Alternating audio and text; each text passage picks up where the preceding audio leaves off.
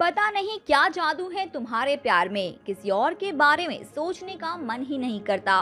ये झूठ है कि मोहब्बत किसी का दिल तोड़ती है। लोग खुद ही टूट जाते हैं मोहब्बत करते करते जी हाँ ऐसी ही खूबसूरत लव स्टोरी है हमारे दो लव बर्ड्स की। आज मैं पायल फिर लेके आई हूँ एक स्पेशल सेगमेंट जी हाँ स्पेशल सेगमेंट में आज बात करेंगे टाइगर श्रॉफ और दिशा पटानी की। लव बर्ड्स की रोमांटिक जर्नी की एफआईआर और अब वायरल बिकनी फ़ोटोज़ की।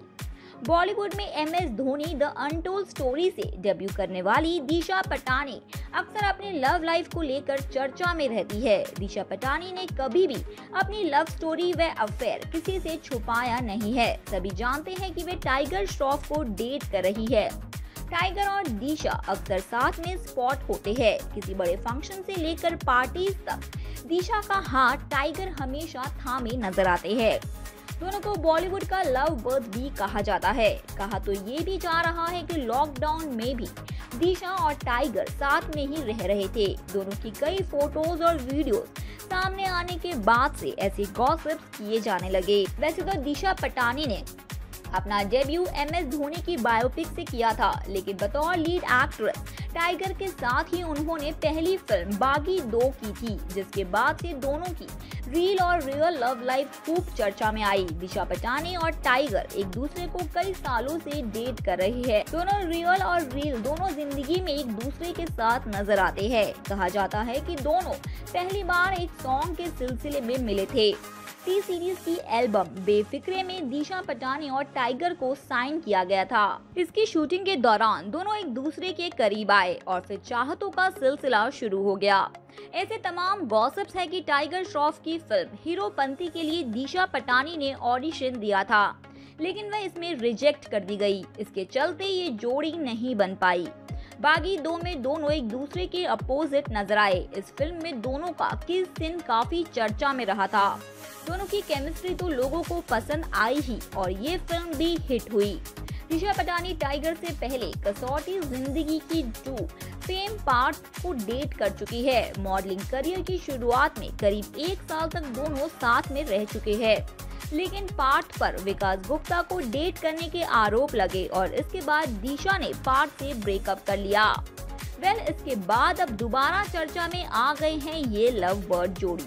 जी हाँ दिशा और उनके बॉयफ्रेंड टाइगर श्रॉफ के खिलाफ मुंबई पुलिस ने गुरुवार को एफआईआर दर्ज की है। दोनों पर बुधवार रात को कोरोना नियमों के उल्लंघन का आरोप लगा है। इसके ठीक बाद मुंबई पुलिस ने बिना नाम लिए दिशा और टाइगर को लेकर ट्विटर पर तंज भी कसा।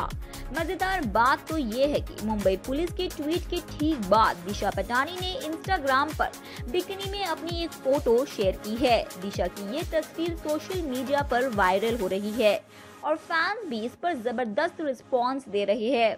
सोशल मीडिया पर दिशा की तगड़ी फ़ैन फॉलोइंग है। यही कारण है कि इंस्टाग्राम पर थ्रोबैक बिकनी फ़ोटो शेयर करने के एक घंटे के भीतर ही नौ लाख लाइक्स मिल चुके हैं, जबकि 5000 से अधिक कमेंट्स भी आ चुके हैं।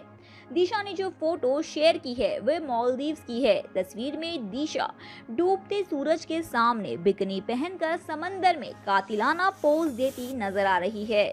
दिशा ने तस्वीर के साथ कैप्शन में लिखा है थ्रो बैक दिशा की इस तस्वीर पर फैंस दिल हार चुके हैं। एक फ़ैन ने एफआईआर का ज़िक्र करते हुए लिखा है, भूल गया सब कुछ, याद नहीं अब कुछ।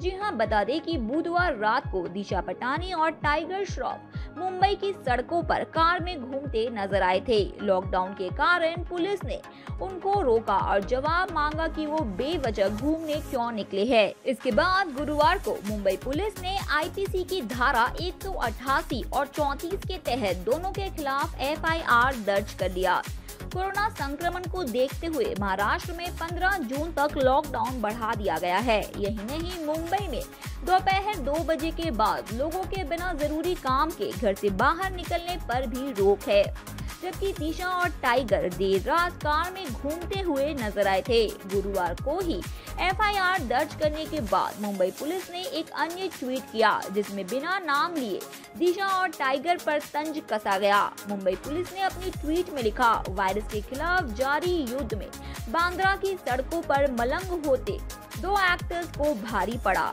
उनके खिलाफ बांद्रा थाने में आईपीसी की धारा एक सौ अठासी और 34 के तहत केस दर्ज किया गया है। हम सभी मुंबई करो से अपील करते हैं कि वो बेवजह हीरोपंती न करे, जो कोविड 19 के खिलाफ सुरक्षा से समझौता है। फ़िलहाल दोनों ने शादी वे फ्यूचर के प्लान मीडिया में नहीं बताए हैं, लेकिन कहा जाता है कि दोनों फ़िलहाल अपने करियर पर ध्यान दे रहे हैं। ऐसे में वे शादी कुछ सालों बाद ही करेंगे।